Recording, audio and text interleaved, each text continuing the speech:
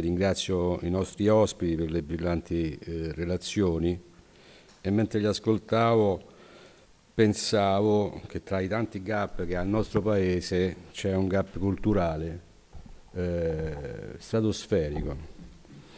E penso che farebbe bene la CGL nazionale, la sua segreteria confederale, a indire i stati generali della cultura in questo paese e porsi lei al centro di questa rivoluzione nazionale, sia per un problema di eh, sistematizzazione delle idee, sia perché il professore che questa mattina ha iniziato la sua brillantissima, brillantissima relazione diceva che negli anni 70 stato, insomma, si concludeva il trentennio d'oro. Ho sono una persona stagionata, negli anni 70 avevo 11 anni, però vengo da una famiglia che quelle storie le ha vissute e la cosa più bella è stata l'incontro in quegli anni. Una volta avremmo detto delle masse sfruttate, degli analfabeti, col mondo della cultura, fino ad arrivare col mondo accademico, col mondo della cultura più eh, in senso largo, fino ad arrivare fra le conquiste sociali che il professore citava anche alle 150 ore, che ha permesso a milioni di operai di alfabetizzarsi e ad avere una eh, licenza di scuola media inferiore.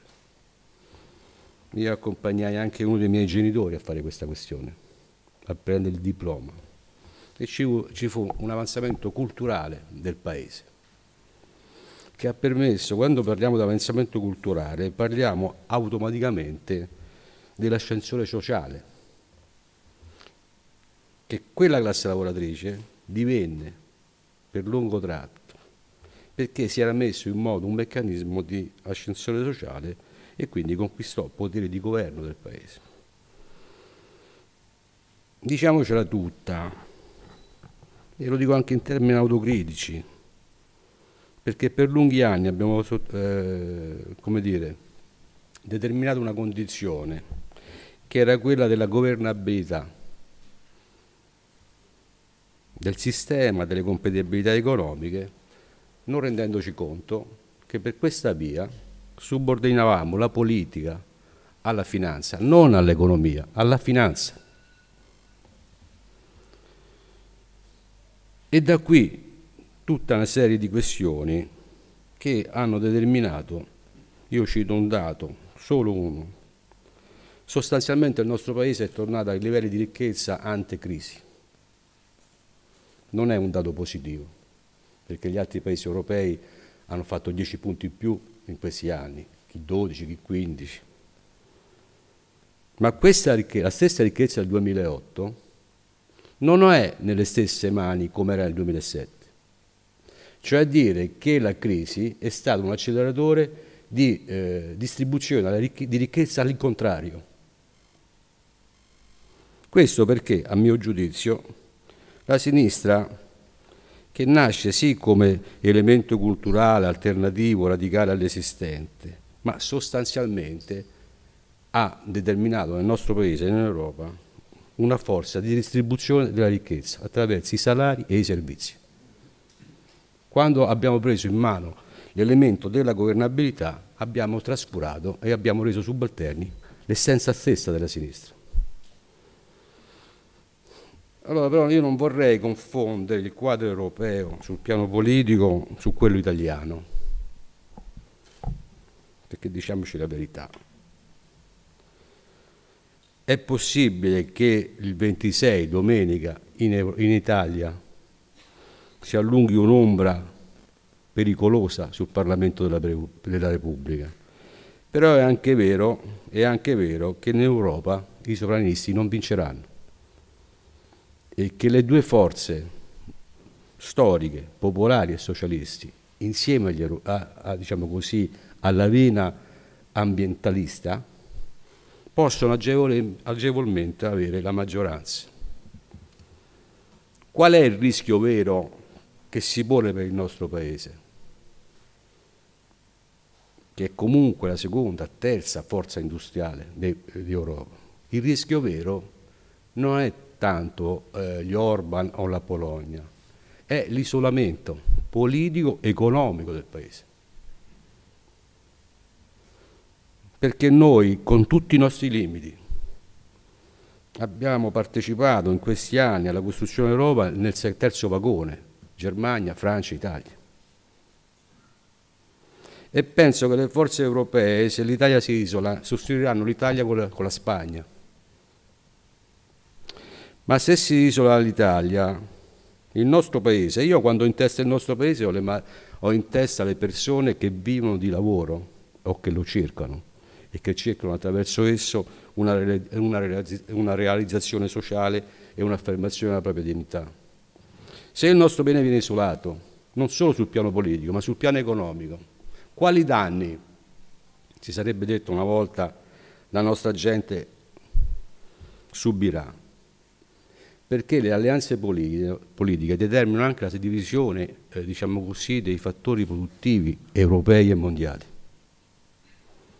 Ecco, il rischio vero, il rischio vero è un isolamento economico e politico del Paese, con ripercussioni vere sul piano dell'occupazione, dei diritti e della stabilità stessa del Paese. Questi so, il 26 siamo chiamati a scegliere su questo crinale. Se poi si vuole, si vuole affermare una discussione vera sulle questioni di prospettiva, io alcuni dati me li sono scritti anche perché ci siamo messi in testa di dare un contributo alla nostra gente su questo terreno. E un dato che a me ha impressionato molto è che nel 1960 la popolazione europea rispetto a quella mondiale era il 21% e che nel 2050 la popolazione europea è il 6% rispetto a quella mondiale e quella africana del 21%. È come dire che degli sciocchi vogliono fermare il vento con le mani, anziché costruire magari se c'è vento dei mulini, dei ponti e non dei muri. Ecco, se questi sono dati dove questa pressione migratoria pone delle questioni, che senso ha pensare che un uomo buffo come Salvini, che ha la sua pericolosità, possa governare una civiltà come quella italiana e quella europea. Il punto è dove noi abbiamo sbagliato e dove noi ripartiamo per ricostruire un campo ideale, il professore lo chiamava ideologico, io mi accontenterei di un campo ideale che affonda le radici sulla nostra cultura, rivoluzione francese, su elementi di socialismo e rideterminando in Europa che l'attività privata è subordinata all'interesse collettivo. Sono come dire, concetti semplici che in questo Paese, nel trentennio d'oro, sono stati praticati, coniugando la, il, il lavoro con diciamo così, il mondo accademico, il mondo intellettuale, qualcuno citava Pasolini. Ecco. Come facciamo? Questo è il punto. E guardate che la mancanza della sinistra in un sistema democratico pone essa stessa un problema della qualità della democrazia non ne faccio una questione di partito. Ricostruire un campo progressista in Italia in Europa è una questione per garantire quei diritti e la qualità della nostra democrazia. Io penso che su tre filoni dovremmo sviluppare, le, ricostruire il campo. La questione ambientale, la questione dell'innovazione tecnologica e la questione del lavoro e dei diritti. Il professore stamattina parlava della incapacità dei movimenti, anche radicali, di farsi istituzione. E nel mondo, sulla questione ambientale, si sono mossi milioni di ragazzi che per loro condizione anagrafica, fosse solo questa, è il futuro. Come li istituzionalizziamo quel movimento? Io penso che ognuno per la propria responsabilità e il sindacato deve dire basta a subordinare il lavoro, purché ci sia, alle questioni ambientali, perché per questa via diventiamo credibili. La questione dell'innovazione tecnologica, più volte, più volte dire, affermata con vari protocolli, pone due questioni forti, vere. La prima è quella della tassazione di capitali che producono ricchezza e scappano. La, segue, la seconda, al di là del processo di formazione del, del, del, dei lavoratori e quant'altro, cose molto importanti, l'altra questione, l'altra questione che pone è la questione della democrazia, perché questi grandi eh, operatori digitali, eh, Apple, Alibaba e quant'altro, hanno miliardi di dati e attraverso questi miliardi di dati non solo fanno affari, ma orientano i gusti culturali delle società, come dire, intese in senso largo e condizionano la qualità della nostra democrazia, perché sfuggono a due problemi dello Stato liberale, non socialista, la tassazione e la questione democratica. Una volta gli Stati erano tutori e proprietari di tutte le informazioni e come voi sapete che l'informazione, la conoscenza determina potere. Ecco, queste sono due questioni che a mio giudizio la questione ambientale, la questione dell'innovazione tecnologica. Non, non ultima, l'ho lasciato per ultimo perché voglio concludere su questo. A me hanno insegnato che una, una società democratica ha dei corpi intermedi forti, anzi la legislazione di uno Stato democratico sostiene i corpi intermedi perché per questa via sostiene la qualità della democrazia. Perché prima le politiche attuali, per la verità, insomma, interpretate da diversi cautilli di destra e di sinistra negli ultimi 25 anni in questo Paese, hanno cercato di affermare un luogo comune che i corpi intermedi erano inutili, anzi una, dire, una palla al piede allo sviluppo della modernità, per poi colpire i diritti. Quando li hanno indeboliti, poi hanno cominciato a colpire i diritti delle persone. E non c'è qualità in una società democratica se i diritti delle persone si fermano davanti a un ufficio, davanti a un ufficio di una banca o davanti a un'officina metalmeccanica. Perché è una democrazia a metà. Io penso che la sinistra deve affondare, ma non con un'ottica, diciamo così, novecentesca, deve porre una questione anche alle classi dirigenti, diciamo così, al, a chi si sente classe dirigente del nostro paese e del, e del continente europeo.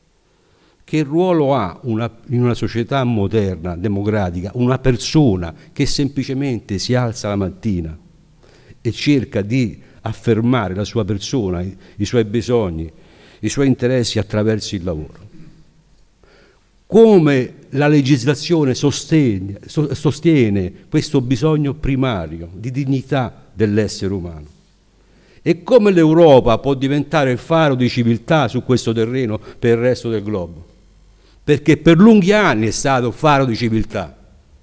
Qui sta lo scontro vero tra chi pensa di subordinare il, il, il, mondo del lavoro, addirittura le istituzioni democratiche, i popoli che liberamente votano alla finanza. E diciamocela tutta, e poi ho concluso. Non è vero che sono stati solo i banchieri privati quelli cattivi negli ultimi dieci anni. I veri killer della subordinazione della finanza, al, eh, della, della politica alla finanza sono stati i governatori delle banche centrali che hanno liberato il rapporto che c'è fra mezzi amministrati e investimenti.